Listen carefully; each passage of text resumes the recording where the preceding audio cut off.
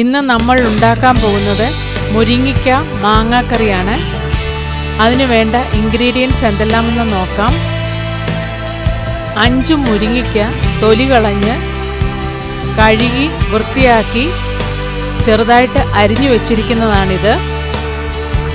രണ്ട് മാങ്ങ ചെറിയ കഷ്ണങ്ങളായി അരിഞ്ഞു വെച്ചിരിക്കുന്നതാണിത്. പുളി കുറവുള്ളതിനാലാണ് രണ്ട് മാങ്ങ എടുത്തിരിക്കുന്നത്.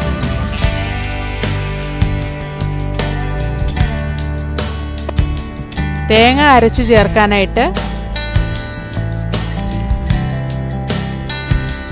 ഒരു കപ്പ് തേങ്ങ അര ടീസ്പൂൺ മഞ്ഞൾപ്പൊടി മൂന്നാലഞ്ച് പച്ചമുളക് അഞ്ചാറ് ചുവന്നുള്ളി മൂന്നാൽ വെളുത്തുള്ളി. ഇത്രയും ഇൻഗ്രീഡിയൻസ് ആണ് തേങ്ങ അരച്ച് ചേർക്കാൻ വേണ്ട സാധനങ്ങൾ.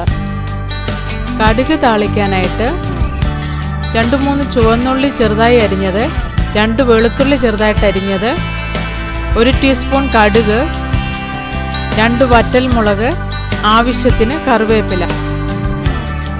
എണ്ണ ഉപ്പ് ആവശ്യത്തിന്. അതിനെ ഉണ്ടാക്കുന്നത് എങ്ങനെയെന്ന് നോക്കാം.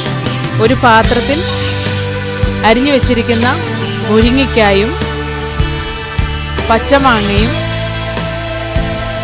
ആവശ്യത്തിന് വെള്ളവും ചേർത്ത് നല്ലതായിട്ട് വേവിച്ചെടുക്കുക.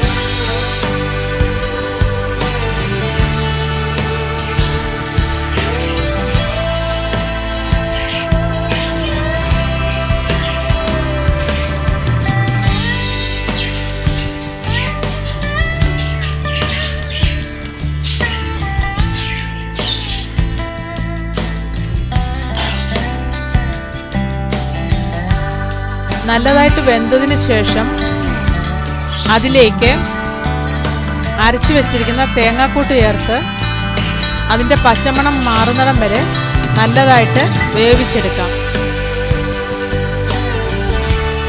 ആവശ്യത്തിന് കറിക്ക് പുളിയില്ല എങ്കിൽ വേണമെങ്കിൽ മോര് ചേർക്കാം.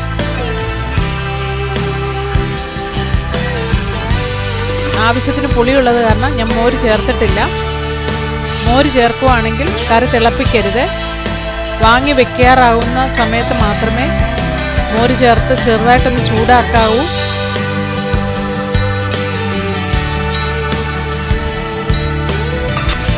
അതിലേക്ക് കടുക് താളിച്ച് ചേർക്കാം. ഒരു പാത്രത്തിൽ എണ്ണ ഒഴിച്ച് അതിലേക്ക് കടുകും ചുവന്നുള്ളിയും വെളുത്തുള്ളിയും നല്ലതായിട്ട് മൂപ്പിച്ചതിന് ശേഷം അതിലേക്ക് കറിവേപ്പിലും വറ്റൽമുളകും ചേർത്ത് കറിയിലേക്ക് ചേർത്ത് നല്ലവണ്ണം ഇളക്കി യോജിപ്പിച്ച് ഒരു സെർവിങ് പ്ലേറ്റിൽ സെർവ് ചെയ്യാം.